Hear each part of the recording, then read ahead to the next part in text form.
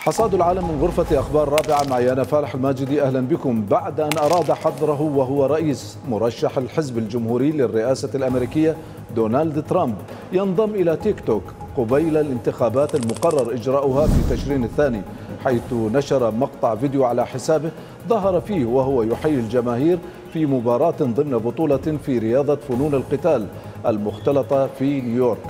انقطاع للتيار الكهربائي في معظم أنحاء أوكرانيا.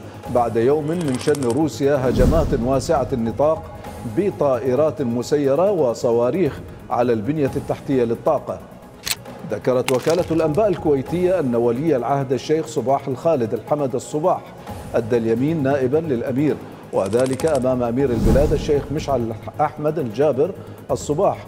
جاء ذلك بعد يوم من أمر أصدره أمير الكويت بتزكية الشيخ صباح الخالد رئيس الوزراء الأسبق وليا للعهد.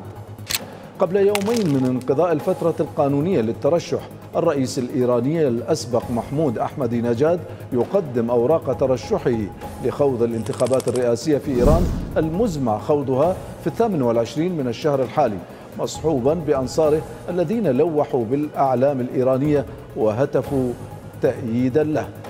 حصاد العالم انتهى. نلقاكم في حصاد آخر. إلى اللقاء.